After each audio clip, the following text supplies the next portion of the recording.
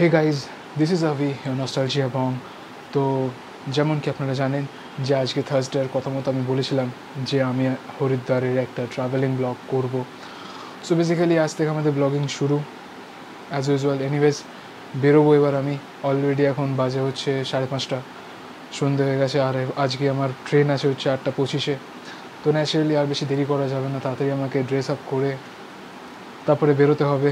আর অনেক ফ্রেন্ড আর অনেক গ্রুপস যাচ্ছে আমার ফ্যামিলি গ্রুপস সবার সঙ্গে যাব এনিওয়েজ সো এবার চেঞ্জ হতে হবে। So stay tuned to the nostalgia পাও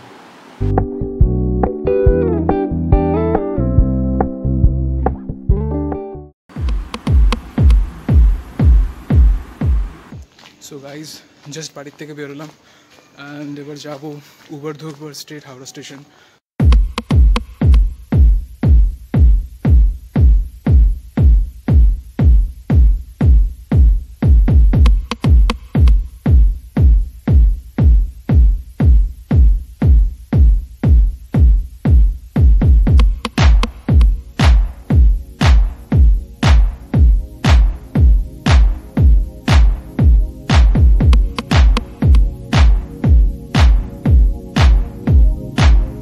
এক্ষুনি আমি হোটেলে এলাম অ্যান্ড বিশ্বাস করবে না আম সো মাচ টায়ার্ড দুদিন ট্রেনে কাটিয়েছি, বিশাল ঠান্ডা ছিল।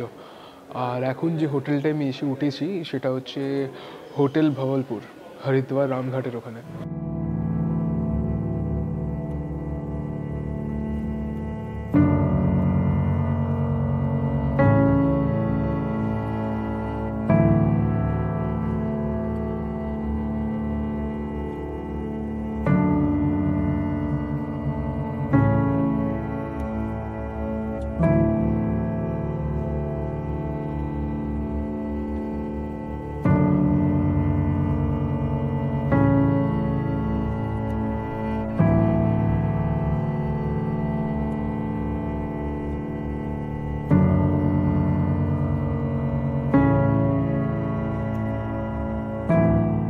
এমনি ভালো, ঠিক আছে, কোনো প্রবলেম নেই বাট ঘরের কন্ডিশনগুলো একদম ভালো না আর আই মিন যখন আমি ইন্টারনেটে গেলাম।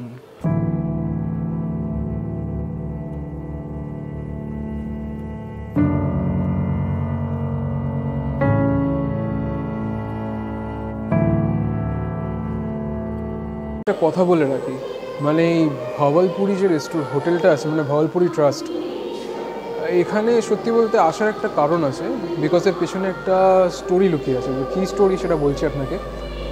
যখন ইন্ডিয়ার পাকিস্তানের ডিভাইড হয়, ওই টাইমে কিছু পাঞ্জাবি রিফিউজি তারা পাকিস্তান থেকে ইন্ডিয়ায় চলে আসে। এবং বলা হয় নাকি তারাই এখানে এসে হোটেলটা তৈরি করে। তো যাকে এই রেস্টুরেন্টের এই স্টোরিটা শোনার পর আমার খুব ভালো লাগল। যার ফলে আমরা এই রেস্টুরেন্টে এসে মানে এই ট্রাস্টে স্পেশালি ভওয়ালপুরি ট্রাস্টেতে এসে আমরা থাকি।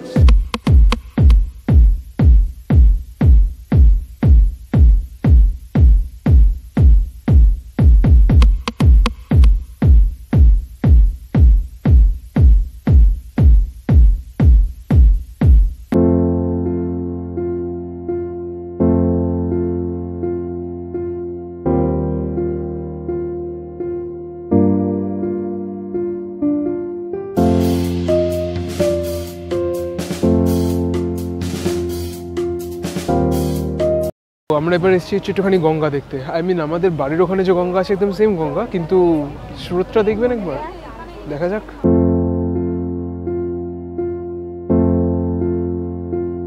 আর হ্যাঁ সব থেকে বড় কথা হচ্ছে, আপনারা যে এক্ষুনি গঙ্গা জলটা দেখতে পাচ্ছেন না, এটা কিন্তু পুরো বরফ গুলে আসছে। আই মিন বরফগুলো জল, এটা বলতে পারেন, পুরো ফ্রেশ জল এখানে।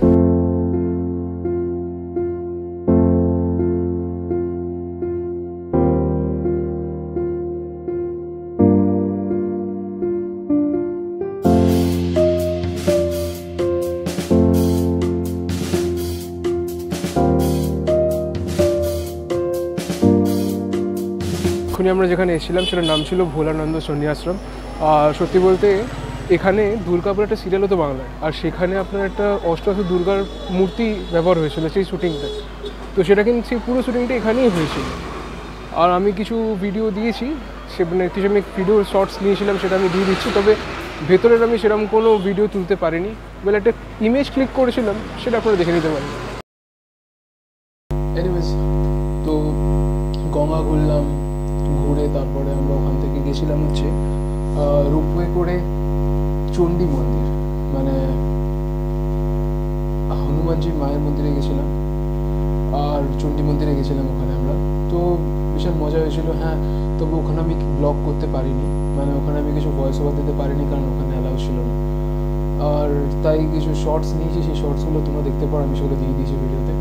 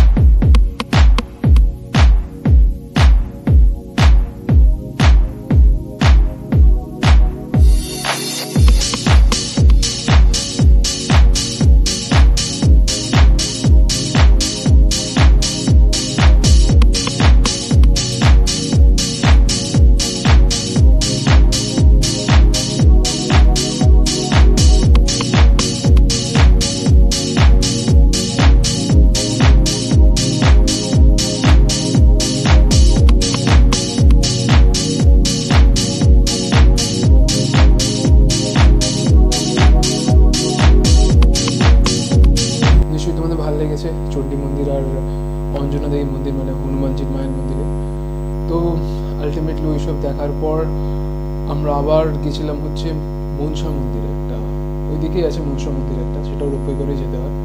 তারও শর্ট দিয়ে দিয়েছি, তোমরা দেখো। তবে ভেতরে আমি কিছু সেরকম ফটো তুলতে পারিনি, কারণ সত্যি বলতে ওখানে অ্যালাউ ছিল না। তো বাধ্যবশত আমাকে শুধু ওই ভিডিও যেটুকুনি করতে পেরেছি, সেটুকুনি আমি দিতে পেরেছি আমি। Sorry for that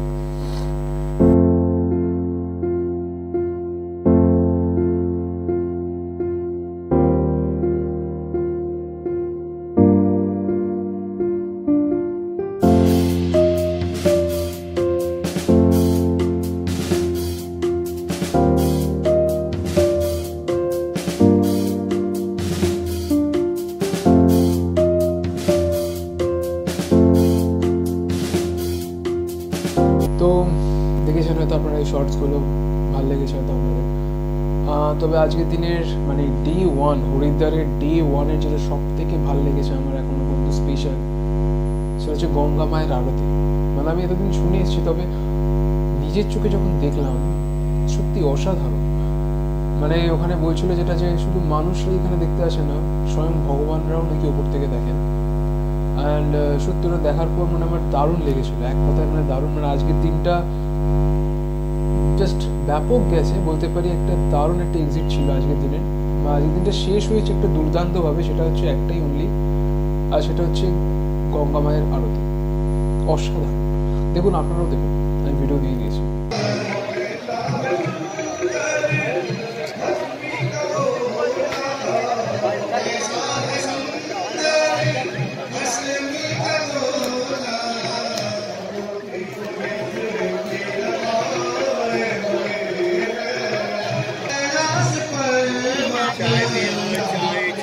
Utah, Utah.